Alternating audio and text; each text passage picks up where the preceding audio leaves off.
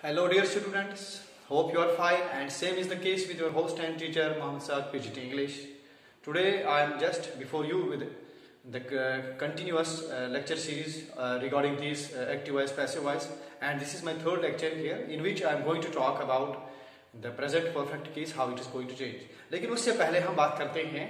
कि जो इस टेंसेस में डिफरेंट केसेस है उनका चेंज करने का from active to passive voice क्या तरीका है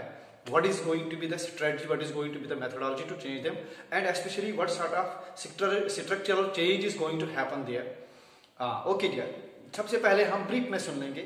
present simple present continuous present perfect है ये तीनों चेंज हो जाते हैं then present perfect continuous that remains unchanged उसके बाद पास्ट सिंपल ये भी चेंज हो जाता है है? उसके बाद पास्ट कंटिन्यूस ये भी चेंज हो जाता है, उसके बाद पास्ट परफेक्ट ये भी चेंज हो जाता है, लेकिन past perfect continuous remains unchanged same is the case with future future simple future continuous future perfect they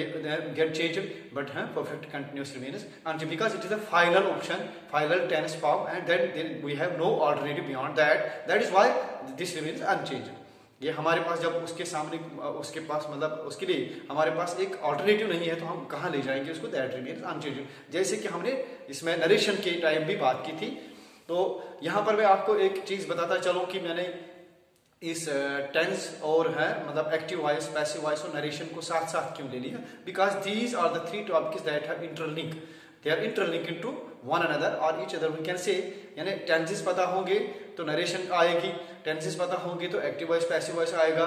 तो हाँ इस तरह से एक सिमेंटिक चेन बन जाती है सिस्टमेटिक चेन बन जाती है हमारे दिमाग में कि नहीं हमने टेंस में ये स्ट्रक्चर पढ़ा है अब पैसिव वॉइस में उसी हिसाब से इसको चेंज करना है। So my dear students I am here today with present perfect and present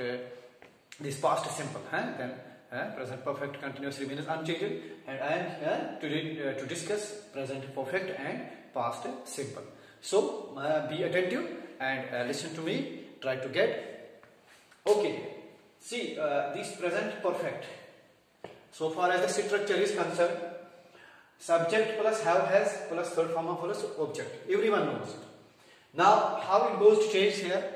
Object plus have has same plus continuous being plus third form of verb plus now subject but again in objective version मैंने तो आपको पहले भी बोला है कि this subject is not uh, here going to remain uh, in the same version it becomes now objective it uh, adopts it is objective form यानी ये सब्जेक्ट मतलब जब हम एक्टिव वॉइस में आ जाते हैं तो वहाँ पर सब्जेक्ट अपनी नॉमिनेटिव फॉर्म में आता है जब पैसिव वॉइस में आते हैं तो वहाँ पर ये ऑब्जेक्टिव फॉर्म में चला जाता है ओके इसकी मैंने यहाँ पर एक एग्जांपल लिख दी है you try to get it i have written a letter i have written a letter subject plus have helping verb plus third form of verb written and a letter is then object uh, what we say noun phrase as well see the chain a letter जैसे कि ये तो आप self evident बात है object will come here and subject will go there a letter is है object and it becomes here now subject and then has been huh? plus uh, third form of verb plus uh, by agent and me that is object of uh, objective form of I. ये ये बस हमें ध्यान में रखना है बाकी simple है ओके तो अब और एक चीज़ का ध्यान रखना है has been and have been इसका मतलब ये तो सिंपल सी बात है सब्जेक्ट वर्ब एग्रीमेंट यहाँ पर तो आई सब्जेक्ट था तो हैव इसके साथ एग्री करता है। लेकिन यहाँ पर ए लेटर है यानी थर्ड पर्सन सिंगुलर है तो यहाँ पर इसके साथ हैज़ बीन एग्री करेगा। There is no complexity in it even if you are asked so you can uh, easily comprehend it there